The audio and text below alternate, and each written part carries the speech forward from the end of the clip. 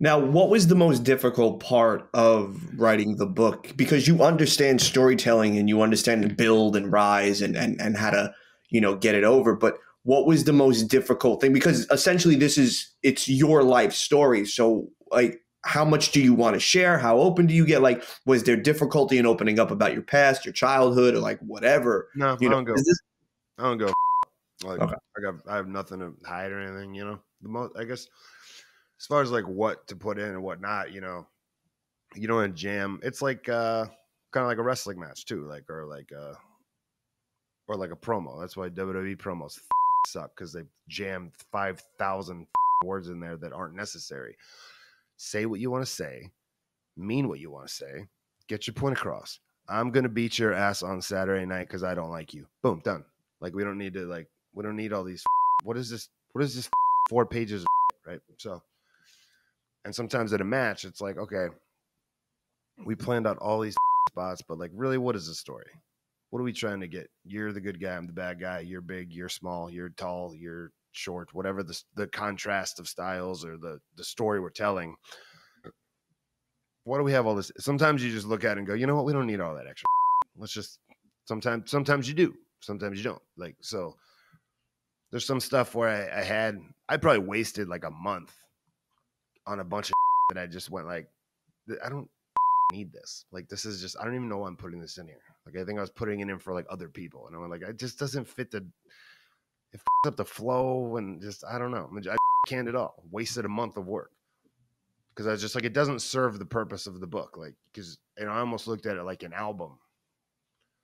Like you have an opening track and uh, you go up and you go down and you have like a ballad and then you get and then you come back up or whatever, you know, and you have a close.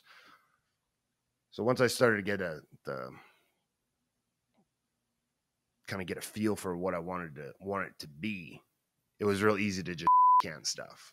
Not because, but there, there was nothing I was hiding or leaving. If I'm leaving it out because it just doesn't fit. So like crafting that like perfectly balanced story Mm-hmm. was. I wouldn't say that was the hardest part, and that was your question, but uh, the hardest part is just the focus because it takes an incredible amount of focus to write a book. I I mean, I knew it was going to take a lot of hours. I knew it was going to be a lot of hours, a lot of sitting and typing and writing and thinking. I didn't realize like how mentally and emotionally draining it was going to be.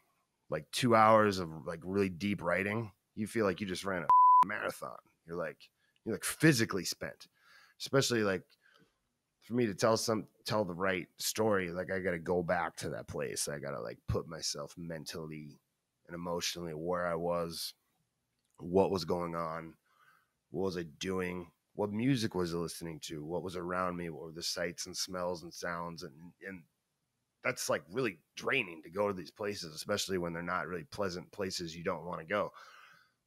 So yeah, it, it was like a very. I'm glad it's over. It was, it was tough, and like it's such a uh, draining and demands so much of your focus and attention. But so does a pregnant wife. So that was horrible timing that those two things intersected because I'm like trying to focus on this, but I'm also trying to. I'm worried about her, so I'm like, there, there was just a lot of. I'm glad it's over. Whew. I'm like ready to just like. I'm not even worried about this kid because I'm just let's just have the kid. That'll be easy. I'll just change diapers. Like just, I'm so glad there's nothing more to write or you know. So hopefully it's good. Maybe it'll suck. I don't know. Like I don't. Doesn't matter because I, I, I like it. I think I can confidently say that I like it. So, That's like, all that matters then. Literally, that's all I care about. If That's it. If one person really likes it, then I'm happy. If a thousand people hate it, I like it. And this other person- Available for pre-order right now. yeah, I think you'll like it.